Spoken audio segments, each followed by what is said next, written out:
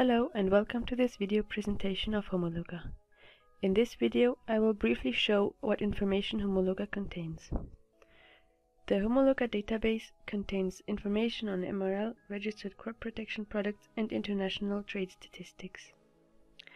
The approved plant protection products give you access to product details, approved uses by crop, gap information, the actual status of registration, off-label and emergency registrations, approved generics and parallel imports, approved products for seed treatment, access to the original labels, the registration status of active ingredients on EU level and private standards. The maximum residue levels give you access to details and links to original sources, the residue definitions, the new or modified and future MRLs, and you can compare between countries and registered products. The export and import statistics of agricultural commodities include raw products and processed products of plant origin. This data is from the Comtrade UN statistics based on national statistics. It gives you a better understanding of the food chain. I will now go on Homologa and show you two maps that represent the country coverage of Homologa. These maps are interactive.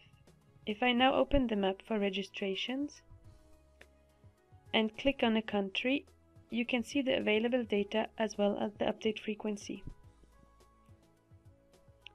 If you go further down below the map, you have a table which contains the same information for each country.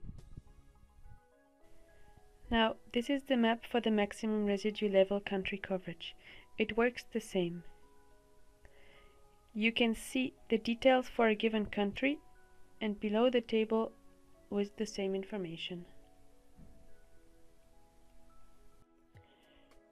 The Homologa product registrations represent about 20 million lines of data. This is the information of about 70 countries, which represents about 5,000 crops, 16,000 pests, and 180,000 brands.